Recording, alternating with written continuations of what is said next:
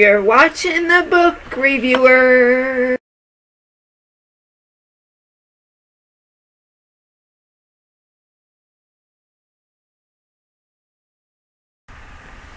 Hello, and welcome back to another episode of the Book Reviewer with your host Cindy, and I have another review to share. So, most of you know that I have done the been doing the James Herriot series and reading the books and reviewing them because that's what I do. I'm the book reviewer. Um, this one is the last book in the James Herriot series called Every Living Thing.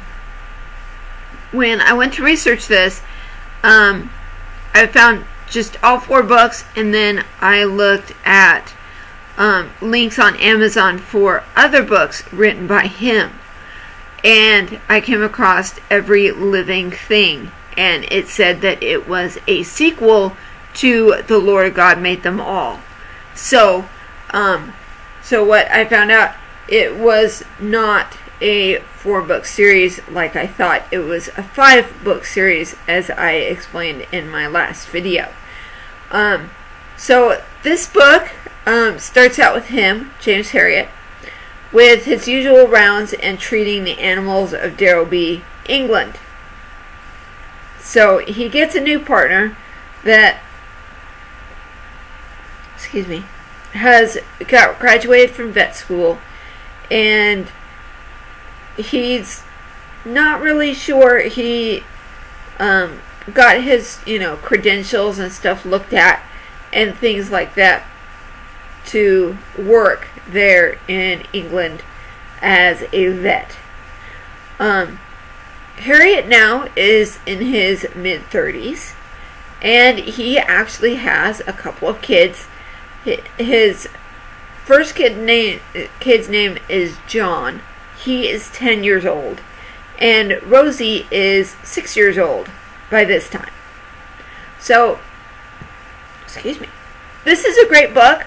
Um, it has 352 pages total with a short biography of James Herriot. And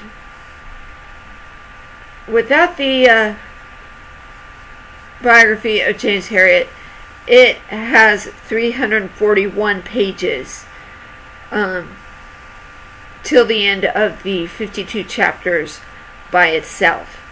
Um, it took a couple days to read this. Um, as I said in a few videos before, that I can't categorize books as slow ones, short ones, or long ones just because um, people read at different speeds and that's just not possible to know if somebody um, reads slower or reads faster what it will be like for them. So um, I will go ahead probably and make another video so I can go into depth about um, which books I liked, which I didn't, which I could have seen more of maybe in the books. Um, let's see. Oh, and I also put together a playlist of all the James Herriot videos that I will be doing. Um, I know I will be doing at least one more um, review of one of those short stories, like I did about the Oscar Cat About Town. I will put a where is it link in the description below or above. I'll put it down below too. Yeah, up in the cards so you can go check that out. I want to do at least one more of those, although it probably won't be the same book.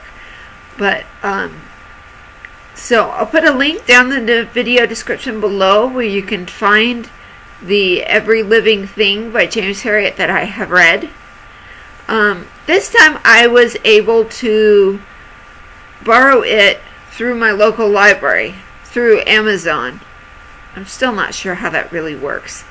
But um, I was able to borrow it for free in an ebook version, which I'm finding that it's a little better than the paperback books because I can get my hands on it faster.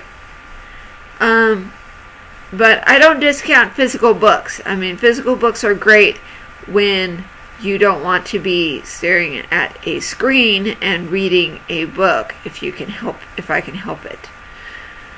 So, um, that is my book review for for today. If you're new to this channel and you like what you saw, don't forget to hit that subscribe button. Like this video and share it with your friends to help us grow the audience. Thanks for watching, you guys. Thanks for subscribing. It doesn't look like that this is as long as the other reviews. Sorry about that. Um, but we we will. Let's see. I had a train of thought. I lost it. Okay. Um, thanks for watching, you guys. Thanks for subscribing. Keep reading. Don't stop believing. And we will see you again on Wednesday with another book review. Bye, guys.